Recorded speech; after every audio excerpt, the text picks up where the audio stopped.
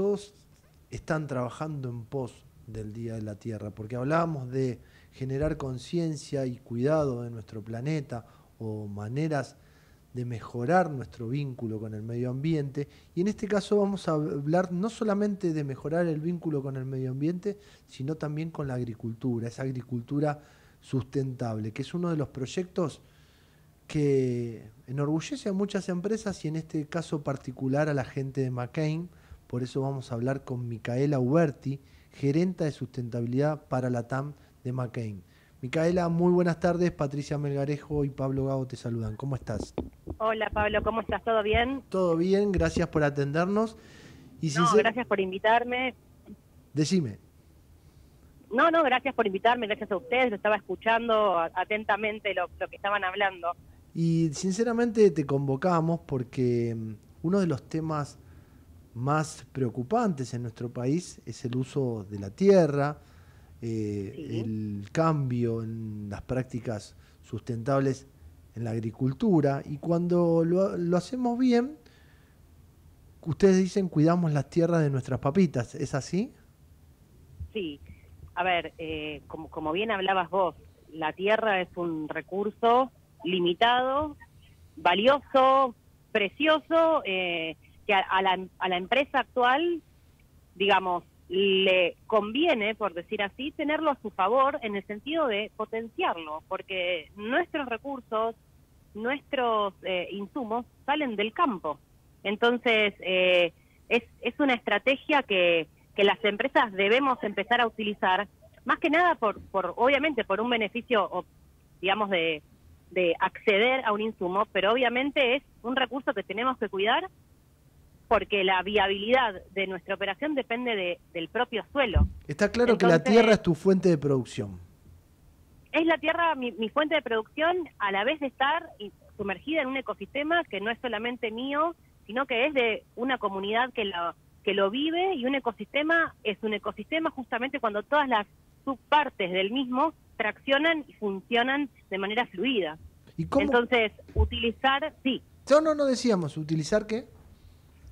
No, utilizar las prácticas, ahora si, si querés yo te cuento un poquitito, pero cuando vos uno habla de agricultura sustentable, de lo que está hablando es de garantizar una productividad del suelo, ya sea para una producción, no importa si, si, industrial o no, sino la productividad de, tener vida en un suelo y que sea un suelo que se pueda utilizar y aprovechar, eh, desde un lado o con una visión a futuro, no una visión cortoplacista. Entonces, asegurarnos que esa tierra que yo eh, utilizo justamente para generar alimentos, que es básicamente por lo que también necesitamos muchísimo a la tierra, eh, pueda seguir por el largo de los años, ¿no? No una temporada o, una visión como más a corto. Justamente eso quería llegar, justamente eso quería llegar.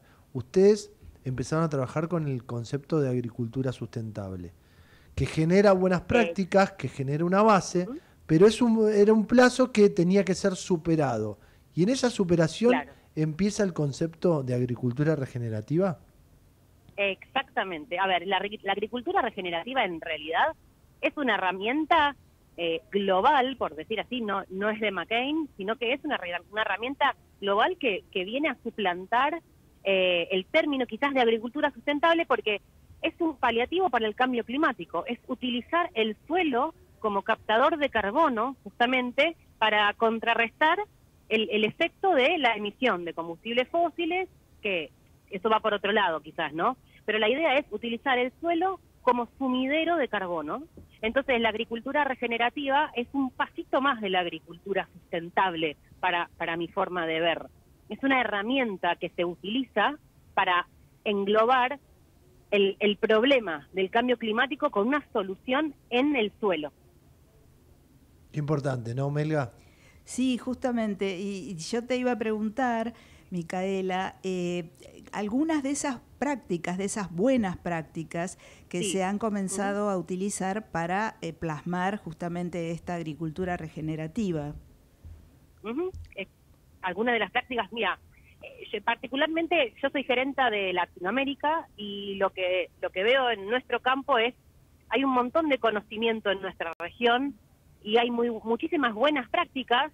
No sé, hablo desde hasta una rotación de cultivo hasta la, la, utilización eficiente de, un fertilizante, eh, ya con, con, digamos, esas prácticas que quizás en nuestra región se vienen utilizando hace un montón de tiempo y que no están englobadas en un marco de agricultura regenerativa, pero lo que la agricultura regenerativa viene a decirles es, tratemos con este ABC de prácticas a nuestro suelo para asegurarnos no solamente una productividad a largo plazo, sino para utilizarlo como aliado para la contrarrestación de esta de, este balance del carbono, ¿no? Utilizar el suelo para que capte carbono. Un suelo fértil capta más carbono.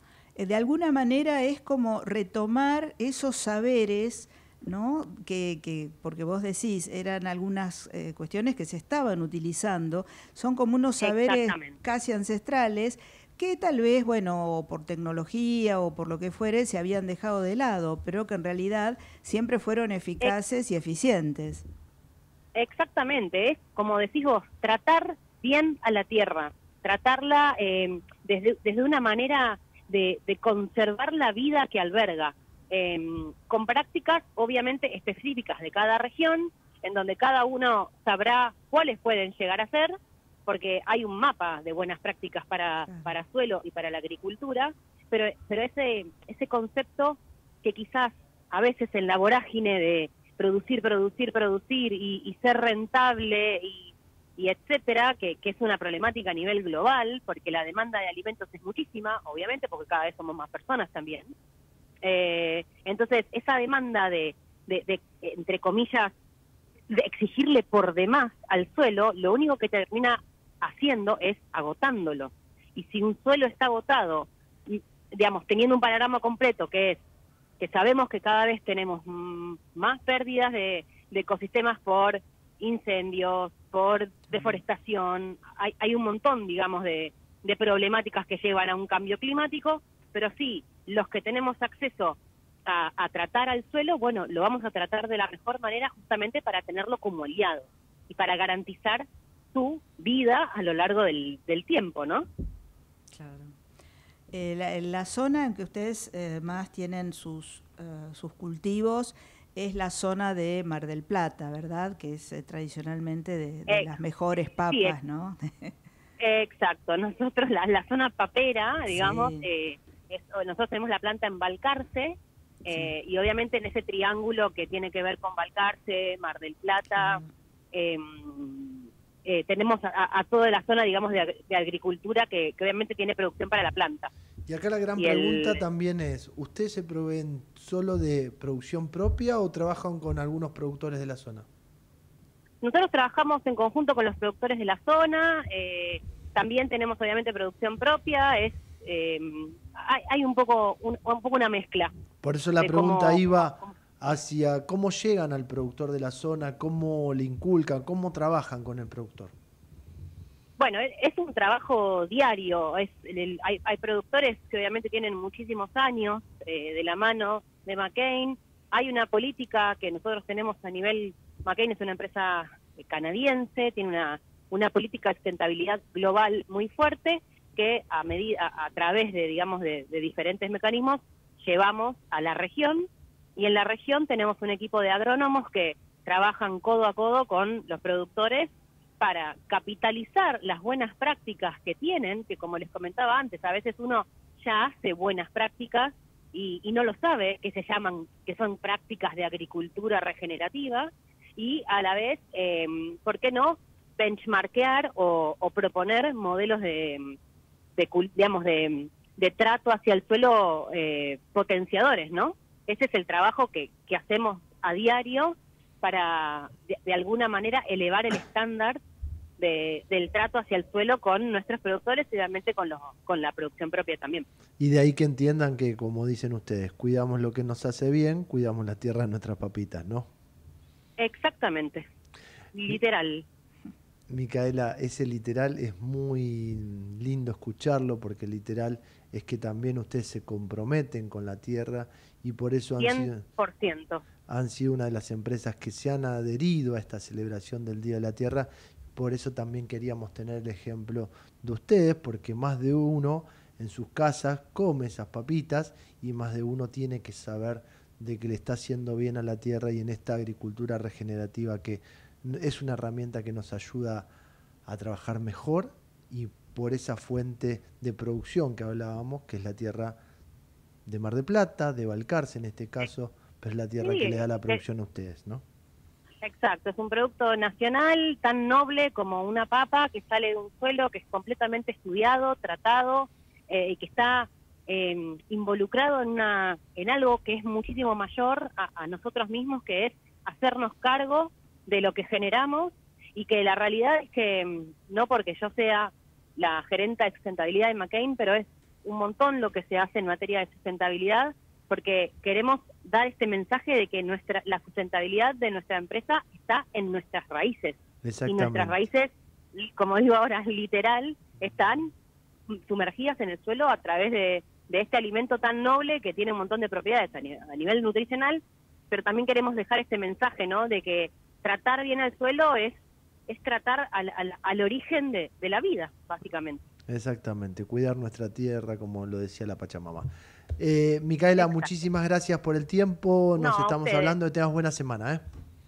Igualmente, chau, chau. Hasta luego. Y era Micaela Uberti, gerente de sustentabilidad para la TAN de McCain que nos contaba esto de